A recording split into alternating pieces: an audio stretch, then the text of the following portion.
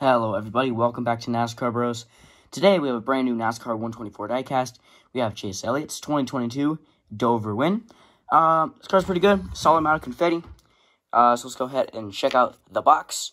Uh, no, I haven't had a video in a couple weeks here, but since it's the off season, uh, hard to find videos to make. So um, this will be the last video before the Busch Clash, which is going to be on Sunday.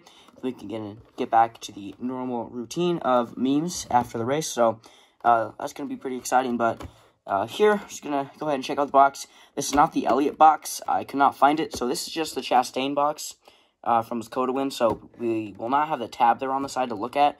But uh, other than that, same box. He's got the race win sleeve, standard finish, and Lionel. Um, only thing different is that we don't have the tab there, so not sure how many were made. Um, I'm sure quite a bit, though, so uh, that's going to be the box. Uh, here, though, we do have the accessories. We got your standard win sticker, and you have your race winning card, which uh, I like this one. You got Elliott with the trophy. You got the car in the back.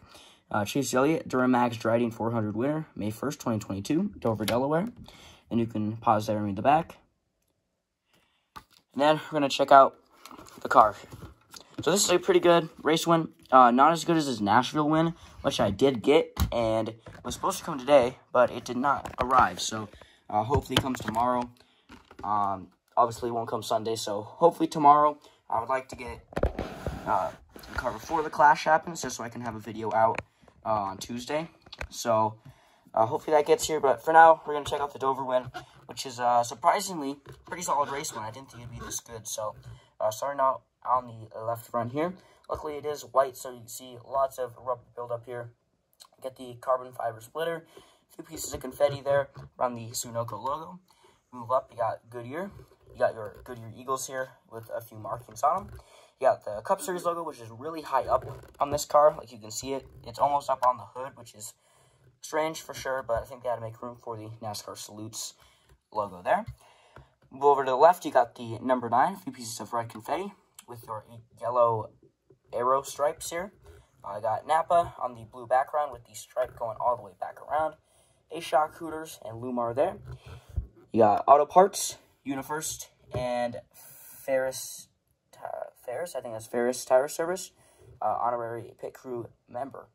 And then you got bioethanol ring there, and just a little bit of confetti on the side. We do have a solid amount here on the window next to the uh, post here, which we have some contingencies like uh, Axalta, Cincinnati, and Mac Tools, and Hooters there.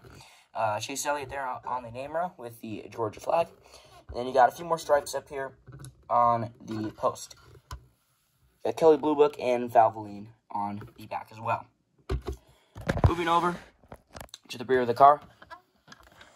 It's got Napa Auto Care and the Camaro in black with the yellow stripe going around the back, blue on the top, white on the bottom. Uh, a few pieces of confetti kind of stuck there on the little ledge. Then you got the white number 9, Chevrolet bow tie, and the two lights here in the back, as well as the camera and the very tall splitter, once again, which is the wrong height. Uh, but again, not super big deal, but definitely annoying.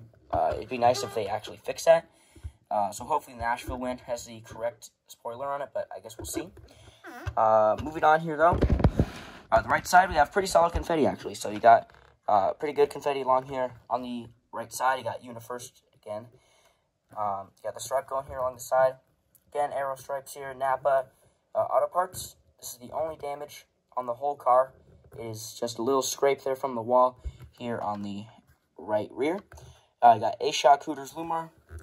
Uh, a little bit of confetti here, uh, quite a bit here, again, on the uh, ledge right there. Uh, you got some on the window, a little bit here on the back window, uh, a little on the back. Um, moving up, though, gets pretty clean, except for the rubber buildup there, which uh, is good. Wish there's a little bit more, though, so uh, looks nice. Then you got the carbon fiber splitter once again.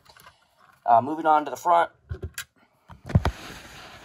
Uh, confetti caught up here on the grill. Um, the Kevin Harvick Richmond win is going to be completely covered right there. Um, excited to see that one come out. Definitely going to be interesting looking, but um, since it's like, you know, kind of a rough pattern, I guess you want to say, because uh, it is the grill, a lot of confetti has been getting caught right there. So uh, that's definitely going to be uh, interesting to see uh, on a few cars that we get. So Uh, that's just there on the front. You got the blue number 9. You got your headlights. Hendrick Motorsports there. Then onto the hood. You can see you've got Napa. You got the hood vents. Gonna pop open the hood here.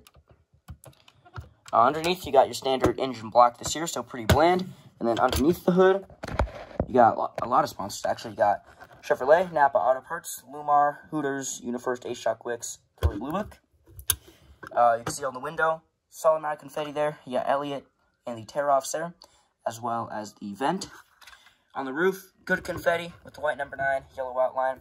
Napa Know-How, Elliott there. Uh, pretty good confetti here on the rear window and on the deck lid where you got auto parts for Napa there. That's it. Um, good race one for sure. Uh, you see the bottom, just your standard base. Uh, but other than that, good race one, surprisingly.